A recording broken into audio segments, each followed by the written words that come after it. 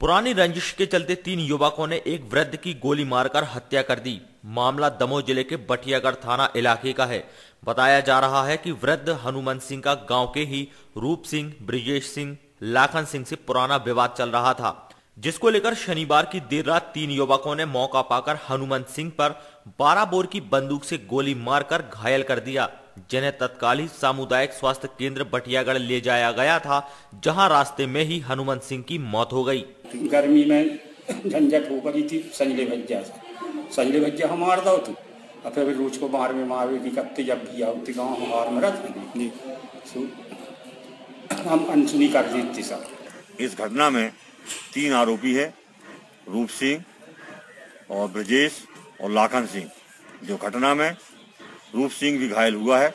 उसको भी सीएससी अस्पताल पटियागढ़ भेजकर जिला अस्पताल रफर होने से जिला अस्पताल में भर्ती है। एवं एक आरोपी लाखन सिंह भी उसमें पकड़ा गया है। केवल ब्रजेश अभी फरार है, जिसके पकड़ने के प्रयास किए जा रहे हैं। वहीं मौके पर पहुँची पुलिस ने दो आरोपियों को गिरफ़्तार कर लिया है और मामले की जाँच भी शुरू कर दी है।